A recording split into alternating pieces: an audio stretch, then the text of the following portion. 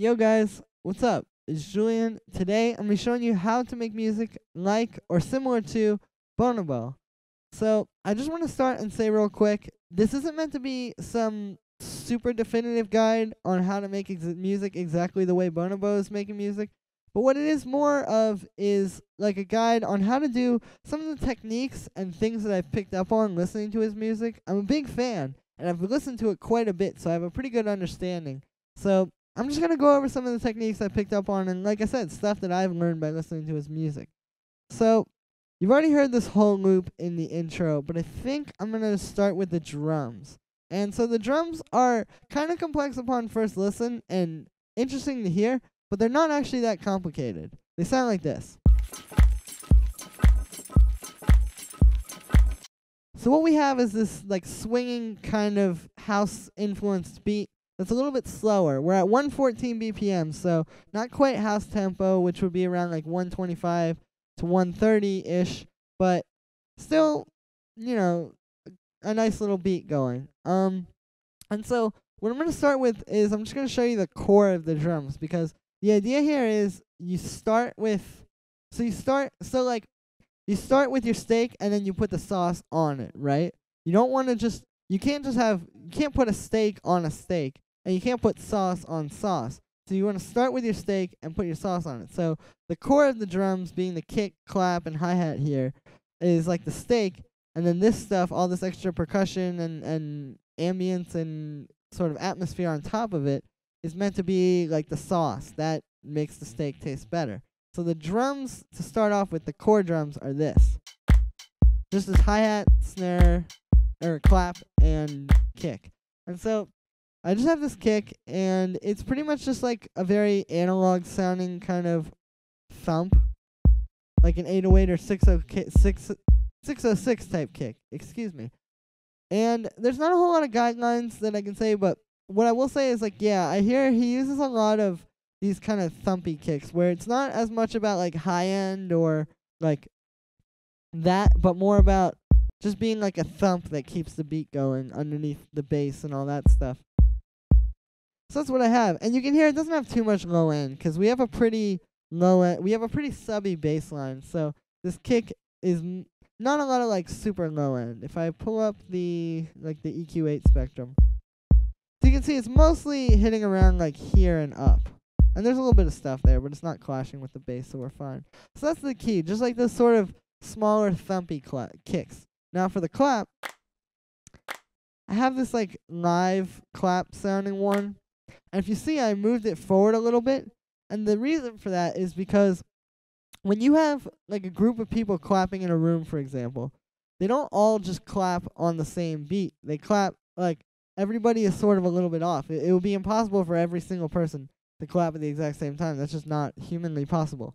So I sort of mimic that in the computer here by putting this little bit here, this little bit here, and then like most of the the hardest hit goes right on the beat, and then there's a little bit of stuff before and a little bit of stuff after.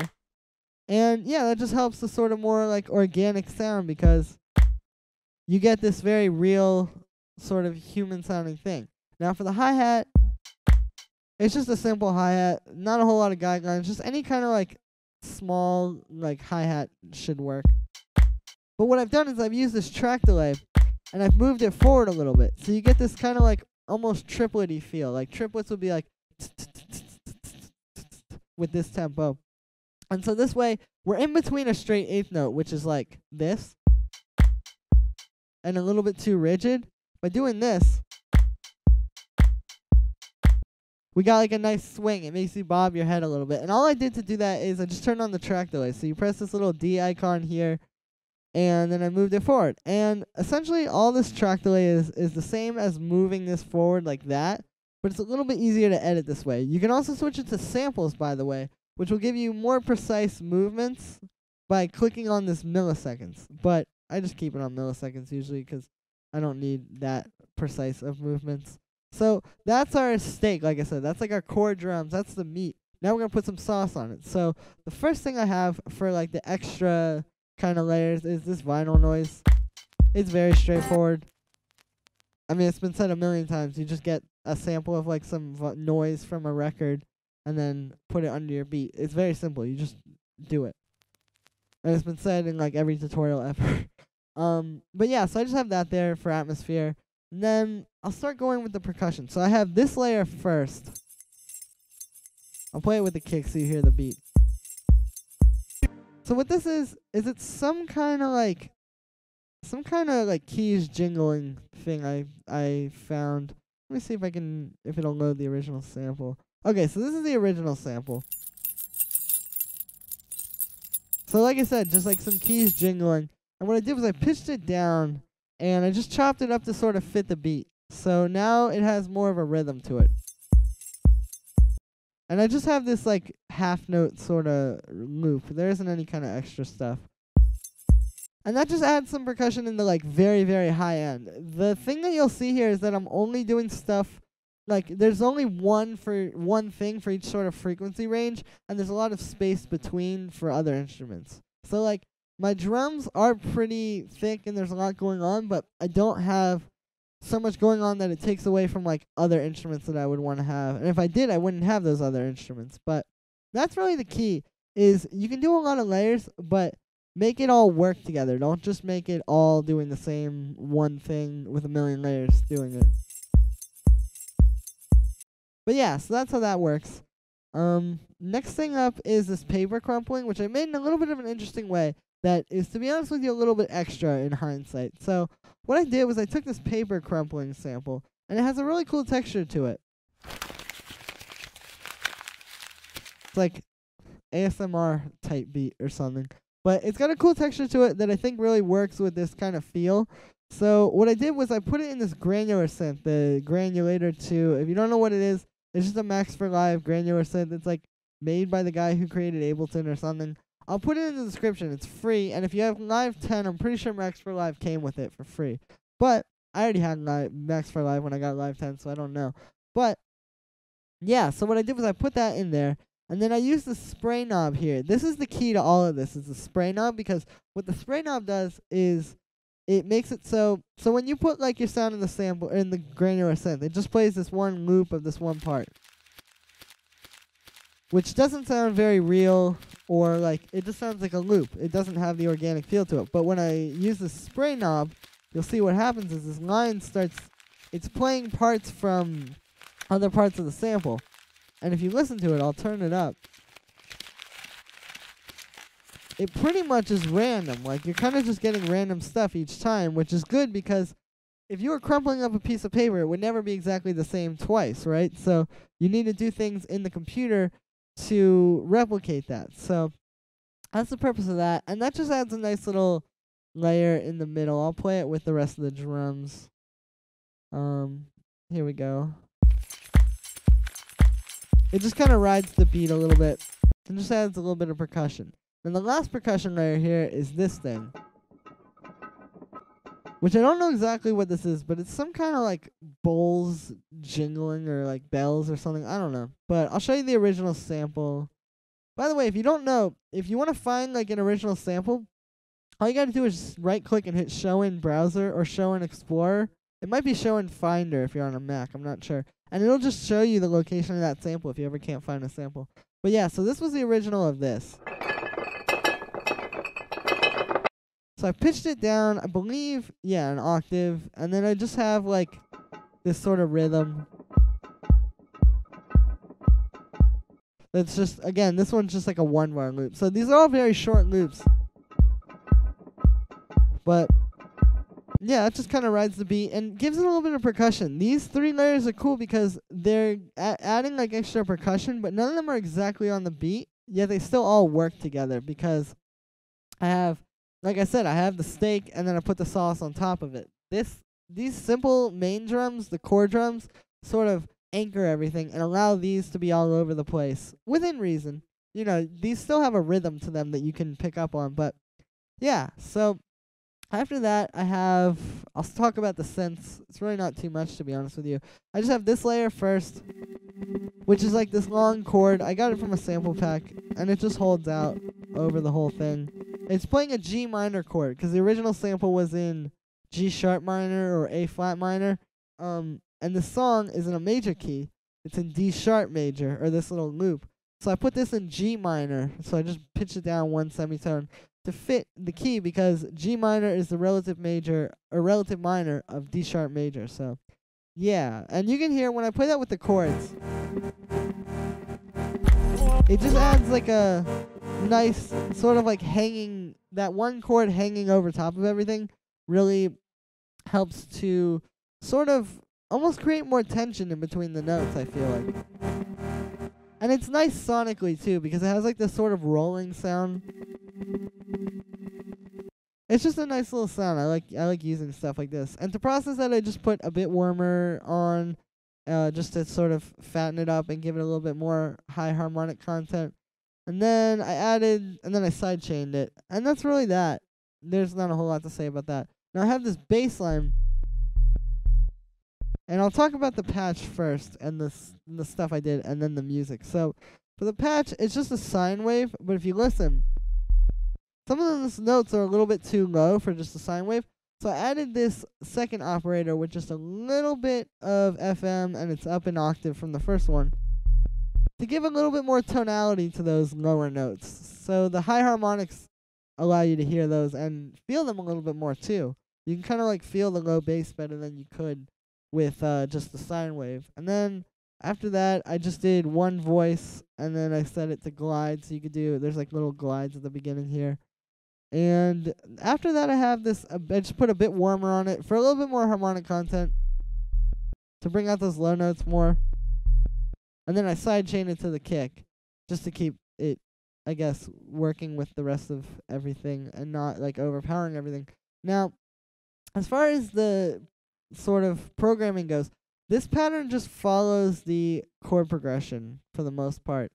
Um, not really too much to say about that otherwise, but what it does do that's pretty interesting is I or not pretty interesting, but is like something I want to explain is if you see these eighth notes here are all like off the beat. So I what I've done is I've just gone through and moved these. And if I play this with the kick and I'm with the hi hat,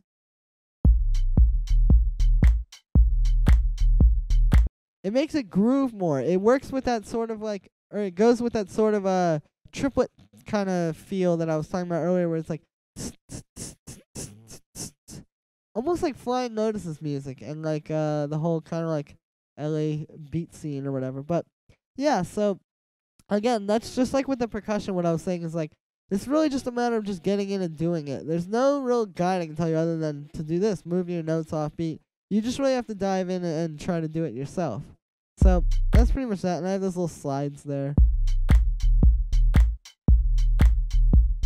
But yeah, now as far as the main chords go, have this layer. So this thing I just made with analog. It's actually pretty simple, but it sounds pretty cool to me. So I just am playing the chords, which I'll go over in a second. And the basic analog sounds like this. So all it is is it's two saw waves, I guess. Yeah, two saw waves and then a little bit of noise, and then I have them low pass filtered with no envelope. And then I set the amp envelope like this, so it just plays the chord and doesn't have any release or attack or anything.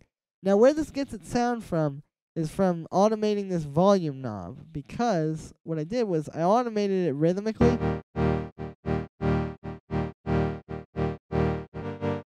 And that's what's giving it that that like kind of thing. And if you see, I staggered the volumes here too. Like some of these are smaller and some of them are like all the way up. And that's just to put emphasis on some of the notes.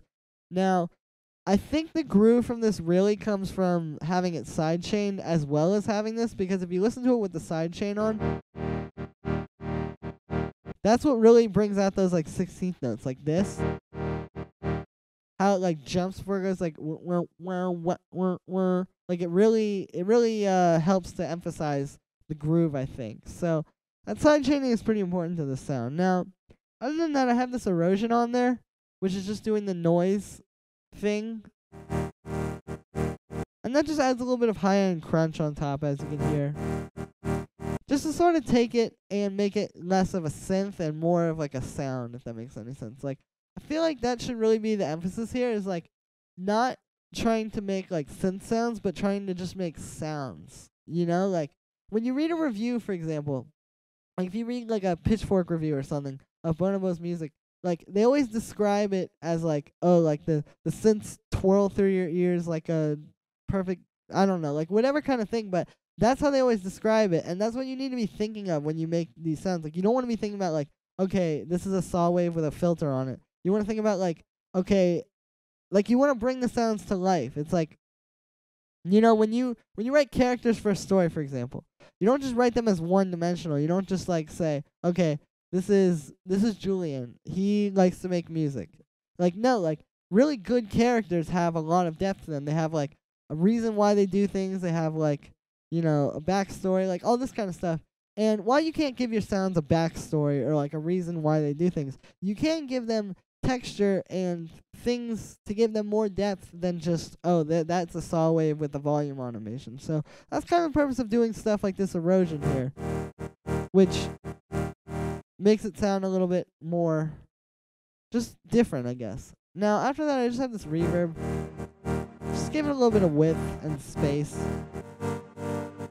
and ambience in the mix. Nothing too much to say there. Now I have this Omnisphere layer, which I'll go over. But what you heard in the intro for the lead is this vocal chop thing. I'll play it with the chords.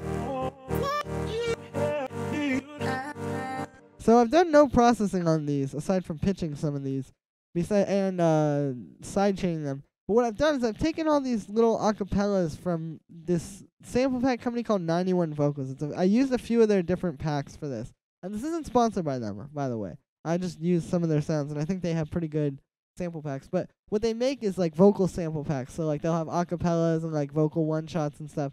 And I just took a bunch of them and chopped them up in this way that fits the uh, fits the key of the song and, and gives it a little bit of rhythm.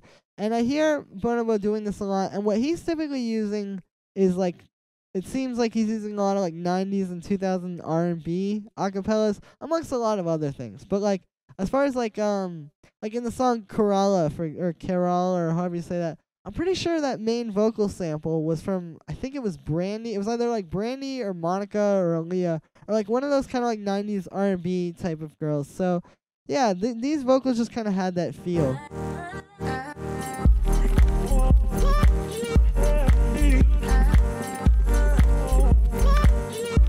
And so I've just sort of made that four bar loop with them. And yeah, I mean, not really too much to say about that. Um, I'll show you what I started with.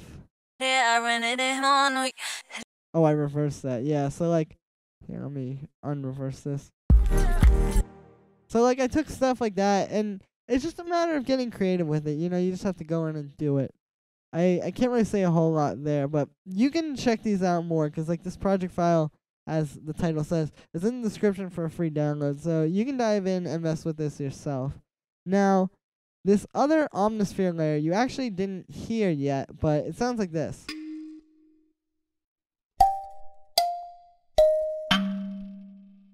It's just like this melody that fits over the chords.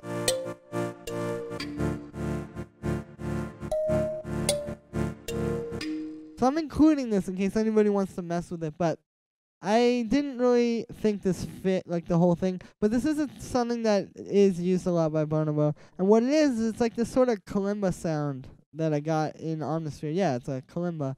And essentially, this just is like a very like this is like a very sort of world sound, which is something he uses a lot, especially in like recent years, um, and especially on his last like two albums was like all this kind of stuff, like a lot of these like kalimbas, marimbas, like steel drums, like all those kind of sounds.